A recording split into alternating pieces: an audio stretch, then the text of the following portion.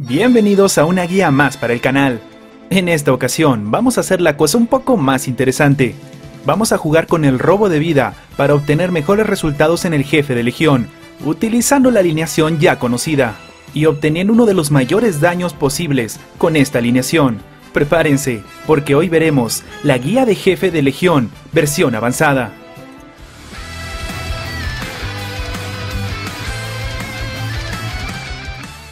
Advertencia, esta guía no es para todos. Los cosmos necesarios y los niveles de robo de vida suelen ser un poco exigentes. De todas maneras hablaremos de los mínimos para poder tener resultados. Si no tienes estos cosmos, todavía puedes seguir la estrategia de nuestro anterior video, que de todas maneras da muy buenos resultados. Bien, para esta estrategia vamos a utilizar nuestro Fénix con Rey Gigante, pero se puede poner otros, dependiendo de la calidad del cosmos legendario que tengas. En todo caso, dos buenas opciones son Cadena de Festos para darle más daño al jefe cuando tiene toda su vida, o Dragón de Plata si no cumple los requisitos para Cadena de Festos o para Rey Gigante. En este caso vemos que nuestro Fénix tiene 18% de robo de vida, con un poco menos también es viable. Nuestro Hashun va con Elfo Sangriento porque como vimos en nuestra primera guía, el fantasma se considera daño que él hace y por eso también reduce armadura, y si se dan cuenta también tiene 10% de robo de vida. Veremos que el fantasma también le roba vida y cura a Hashun. El caso de Luna es similar a las otras guías, va a mantener jaboncillo, Luna no pega y no tiene otra forma de recuperarse. Daedalus también va con Elfo Sangriento y tiene 14% de robo de vida, este se calcula que es el mínimo para él, a diferencia de Hashun que aguanta un poco más en la pelea. Kraken tiene casi un 14% de robo de vida y lleva Hada del Pantano, porque él, a diferencia de Luna, va a pegar y se va a poder curar. Luna necesita sí o sí tener jaboncillo. Y aquí es donde Seiya empieza a tener ese rol protagónico del que hablamos anteriormente. Él también va a ir con Elfo Sangriento y también necesita una buena cantidad de robo de vida, aunque a diferencia de Dédalos, por ejemplo, él podría ir con un 10%, pero para algunos casos es bastante arriesgado. La estrategia desde el inicio cambia totalmente, ya no vamos a usar la vieja y conocida estrategia de darle doble turno a Fénix. Esta vez le vamos a dar doble turno a Deidalos. Vamos a hacer que nuestro Fénix se tome dos rondas para poder mejorar su daño. La idea básica es que marque en el primer turno, como lo hizo en este caso, con nuestro sella debilitar para que Deidalos pueda robar el mayor daño posible. Estamos en una carrera contra el tiempo. Necesitamos estabilizar la partida antes de que el jefe empiece a dar daños colosales. En este caso Luna nos dio tres turnos, pero no nos sirve de mucho. Y con nuestro Kraken es simplemente pegar. Ahora empieza la parte importante realmente. Vamos a hacer exactamente lo mismo, con la diferencia de que ahora nuestro Fénix tiene que volar y empezar a ganar stacks. Si se dan cuenta, la estrategia cambia considerablemente. El papel protagónico al inicio de la partida lo tiene enteramente Daedalus. Nuestro Fénix está listo para volar. Aquí podríamos hacer dos cosas, empezar a ganar stacks para que nuestro Fénix transformado haga más daño, o seguir con la estrategia del robo de daño. Tenemos que seguir con la estrategia de robo de daño, pero si se dan cuenta, incluso a pesar de eso, las marcas que deje el Fénix le siguen siendo favorables para que logre más daño al momento de transformarse. Al jefe ya se le ha robado un daño considerable, así que podríamos ver cómo empieza a bajar el daño y cómo nuestros caballeros se empiezan a estabilizar incluso mucho más rápido que en la estrategia de los jaboncillos. Aquí ya empieza la típica rotación, de empezarle a dar doble turno a Sella, y con Dedalos empezar a robar una vez por turno, y así aprovechar al máximo la energía.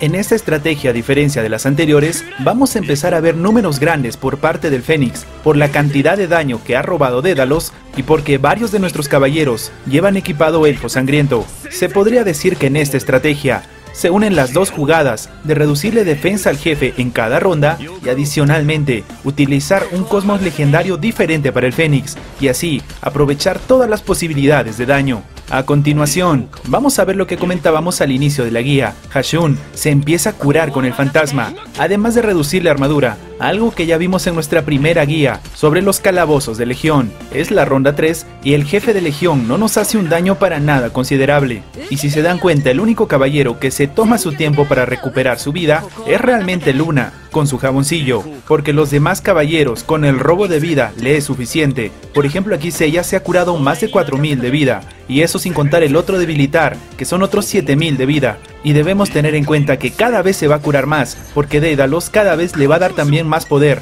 Recordemos que se alterna entre él y el Fénix al momento de robar el daño. Existe una variación de esta estrategia con Hashun y es equiparle Jacinto para reducir aún más el daño que hace el jefe de legión. Esto se suele usar cuando el jefe de legión tiene un daño demasiado alto. Algo que es importante tener en cuenta porque suele pasar. Aquí el daño del jefe no nos pone en aprietos y estamos en la ronda 5. Recordemos que en las otras estrategias la ronda 5 es la clave para empezar a estabilizar la partida. En este caso es totalmente diferente. El daño y el robo de vida nos mantienen tranquilos con los niveles de salud y adicionalmente el daño empieza a aumentar exponencialmente. Ya nuestro Fénix empieza a pegar muy por encima de lo que hace en otras estrategias similares. También es importante ver que por ejemplo nuestro Kraken no hace un daño muy alto, pero sin embargo se cura considerablemente porque pega dos veces por ronda. Por eso es necesario que tanto Kraken como Dédalos tengan un buen robo de vida. Esto va a garantizar su supervivencia.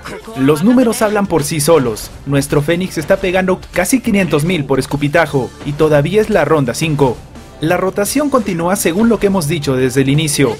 Recordemos que esta rotación empieza en la ronda 3, una vez que el Fénix ya está transformado. Y bueno, básicamente esa es toda la estrategia en el jefe. Ahora tenemos que esperar a que no nos congele, o bueno, en el caso de este jefe, que no nos aturda con uno de sus ataques. También recordemos que es importante Kraken, porque el jefe no ve los seis caballeros como enemigos, sino también cuenta los tentáculos, y por eso hay una probabilidad que uno de sus ataques vaya dirigidos a él, y nosotros no recibamos ni ese daño, ni el aturdimiento, en caso de que justo ese sea el ataque. Ya hablando solamente de números, para que esta estrategia pueda romper la barrera de los 400 millones de daño al jefe de legión en total, necesitamos que nuestro Dédalos sea nivel 80 y pueda activar su última parte del octavo sentido y aumentar su daño cósmico bastante, al igual que un Seiya en nivel 80, que también aumente su daño físico, porque si nos damos cuenta, en esta formación, Seiya hace un daño considerable, no solamente está ahí por su debilitar, y eso que ahora debemos tener en cuenta también que ha salido su renacida. Eso no solo le aumenta el ataque, sino que en situaciones en las que Luna da hasta 3 turnos, se puede utilizar el segundo en lugar del debilitar, mantenerse en 4 stacks y hacer un montón de daño crítico al jefe haciendo esta situación a estos dos caballeros bastante importantes al momento de ejecutar esta estrategia y de hecho todas las que hemos visto en nuestras anteriores guías. Quedan casi tres rondas y en ningún momento hemos tenido un caballero al borde de la muerte. Y como les dije al inicio del video, es básicamente Luna la que está sufriendo un poco con la vida, pero tampoco es que esté al borde de la muerte.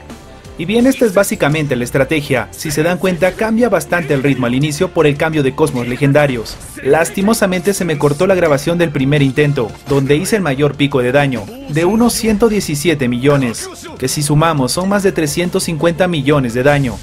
Igual al terminar el ataque, se van a ver esos 117 millones, que como resultado termina muriendo el jefe, porque si nos damos cuenta ya casi no tiene vida. No es por el daño que haya hecho yo, sino por el daño que también están empezando a hacer los miembros de la Legión. Y bueno, algo importante que también debemos tener en cuenta es que mientras más pasen las rondas, también más se empiezan a curar nuestros caballeros. En el caso de Hashun, ya se empieza a curar 7000 por ronda.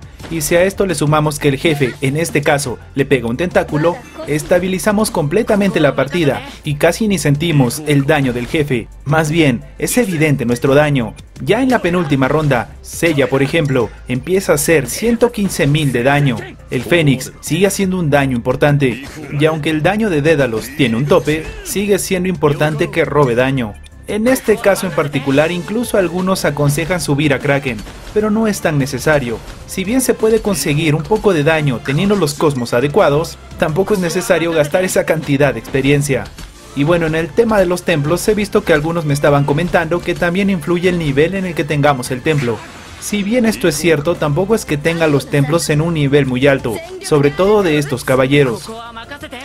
Y bien, nos encontramos en la última ronda, donde es simplemente terminar el trabajo, seguir con la rotación hasta el final y ver el daño que hemos logrado con esta alineación. También se pueden perfeccionar los cosmos y aumentar el daño, lógicamente con los templos, como dijimos hace un momento, pero el resultado es bastante bueno.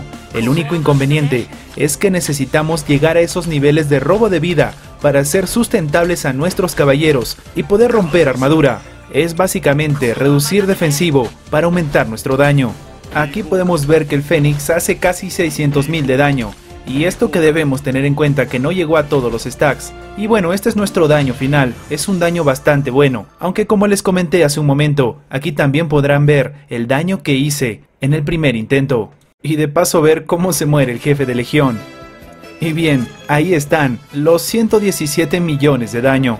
Y ya para finalizar, algo importante que les quería comentar es que esta estrategia también sirve para soportar los calabozos de legión de los jefes que hacen más daño. Y ojo, que los últimos 5 niveles que han abierto ya son de caballeros renacidos. Entonces, es importante que si pueden utilizar esta alineación, cambien el cosmos legendario de Hashun por Jacinto, para así aguantar el daño que viene de estos caballeros renacidos, sobre todo en el caso de Milo, Saga y Shura, ya que en el caso de Camus y Leo necesitan una estrategia adicional y de otros caballeros para poder sacar mayor ventaja a sus habilidades. Y bueno, esta es nuestra última guía de PvE de momento, ahora se vienen las guías de PvP. Si este video te gustó, compártelo con tus amigos. Recuerda que tu like nos ayuda mucho a seguir creciendo. Suscríbete para más contenido. Activa la campana para que no te pierdas nuestros videos y nos vemos en la próxima.